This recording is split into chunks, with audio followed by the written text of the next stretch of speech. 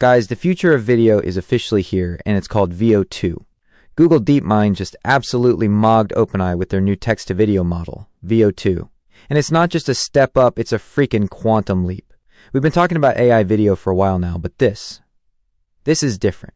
Now, I'll be honest, I was a little skeptical at first. I mean, Google, they've got a bit of a reputation for, shall we say, enhancing their demos. So I waited, kept my ear to the ground, checked out what the AI community was saying. And now?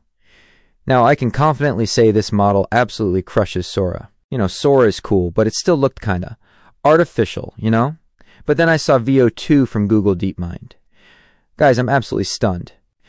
This thing is insane. The realism, the detail, it's like they somehow downloaded a Hollywood director's brain into an AI. Now, if you've been following the AI space, you know things move fast. Like, blink and you'll miss it fast. It's a constant battle, everyone trying to one up each other. One day a new model comes out, it's the best thing since sliced bread.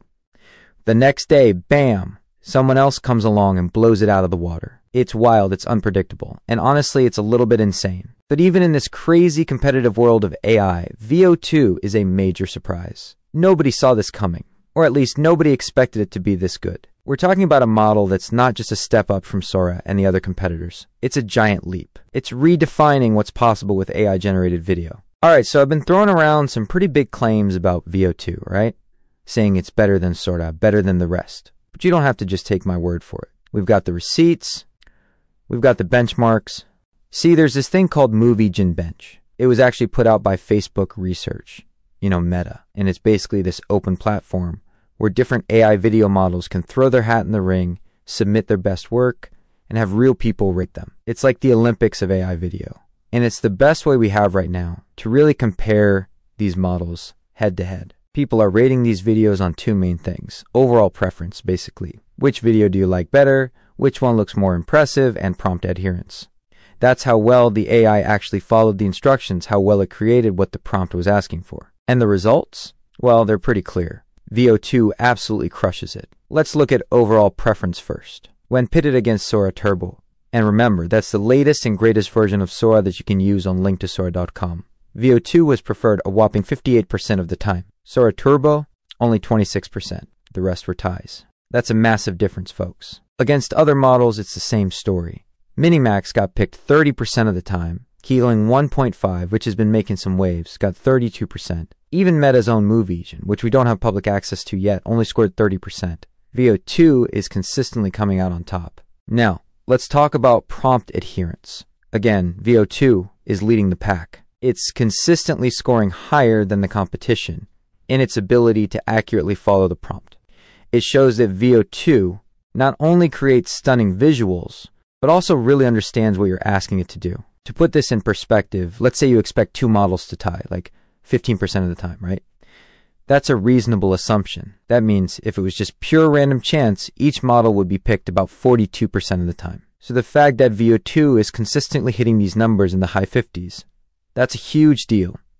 It means people aren't just randomly picking it, they genuinely prefer the output of Veo 2. Now, looking at these numbers, it seems like Kling AI is probably the closest competitor to Veo 2, especially when compared to Sora.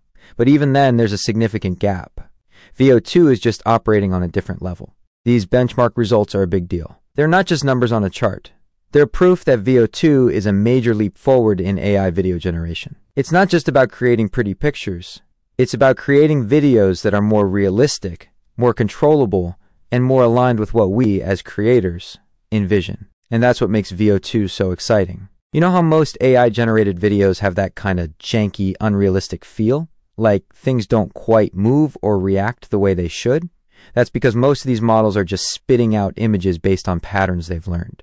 They don't actually understand how the real world works. But Google, being Google, seems to have cracked the code with Veo 2. I mean, we don't have all the technical details of how their new model works, but the results speak for themselves. Take this example of a tomato being sliced. It's not just a red blob getting cut in half. You can practically feel the texture, the juiciness the way the knife moves through it, the tiny vibrations, the way the slice settles, it's ridiculously realistic. It's like Veo 2 actually understands that a tomato is a physical object with weight and density. And liquids? Forget about it. Liquids are notoriously tough for AI to handle. They're chaotic, unpredictable. Think about how long it takes a powerful computer to render realistic water simulations in movies. But Veo 2? It handles liquids like a champ. We're talking coffee pouring with realistic swirls and ripples, syrup dripping with that perfect, slow, gooey flow. You can almost taste it. The way these liquids move, interact with their containers, and even jiggle when the glass is set down. It's mind blowing. It tells you that this AI has a deep understanding of how fluids behave. It's not just mimicking, it's simulating. And this realism gives me a ton of hope for the future of AI generated video. Google has a history of pushing the boundaries in this field. They've been behind some of the biggest breakthroughs in video generation technology that have paved the way for models like Sora. So it's no shock that they're leading the charge again. Okay, so Veo 2 physics understanding is really good, but look at this video. Someone made a movie trailer using Veo 2, and photorealism is freaking awesome. We start with a cop confronting a stormtrooper in front of a Starbucks. Okay, already we're in Bizarreville, and it's kind of awesome. The visuals are sharp, the lighting is on point, and honestly, that stormtrooper looks legit. This is already way beyond what I expected. Next thing you know, we've got a UFO landing on the White House lawn, and a chihuahua in a sweater is the first one out. A chihuahua? I can't even. This is the kind of unexpected, hilarious stuff that AI dreams are made of. And again, the visuals are top notch. That spaceship looks like it's straight out of a Hollywood blockbuster. Now we're in some kind of ice cave, with astronauts exploring these weird frozen alien figures. This is the kind of high concept sci fi imagery that usually requires a massive budget, and Veo 2 is just cranking it out like it's no big deal. This trailer is everything I love about AI creativity. It's imaginative, it's visually stunning, and it's not afraid to get a little weird. This isn't just another AI trying to mimic reality. It's an AI having fun and creating something truly unique. Alright, let's take a critical look at this one. Of course, this model is not perfect. The first thing that jumps out at me is the lack of impact.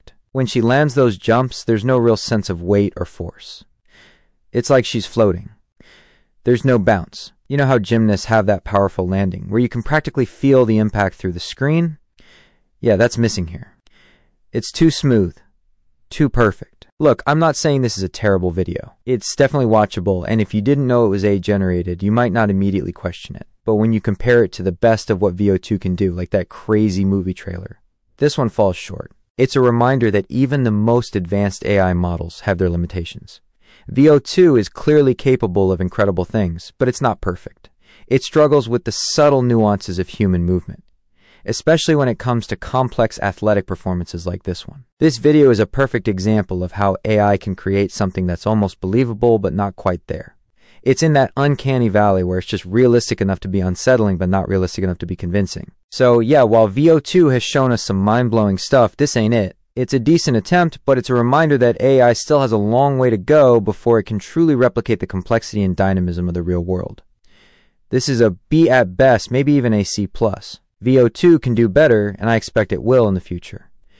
But for now, this is a reminder that even the best AI is still learning. So this is Veo 2. Now, currently, you have to be on the waitlist to join. Just click on this button, and it'll walk you through how to do it. You just give them some basic info, and it sounds like it's rolling out to people now because some people are already posting videos on Twitter. The thing that really jumps out, first of all, they're saying that the high quality output can be up to 4K. And I gotta say, some of these videos look really, really high resolution, high detail, and of course, in different styles. But also, extensive camera controls as you've seen in that olive green muscle car drifting around the corner, if that's the level of detail that you can produce with this, this will be the best camera controls that I've seen thus far. They also mention advanced motion capabilities, and these are, in part, due to an understanding of physics and Veo 2's ability to follow detailed instructions. This enhances the realism and fidelity. Let me know what you think.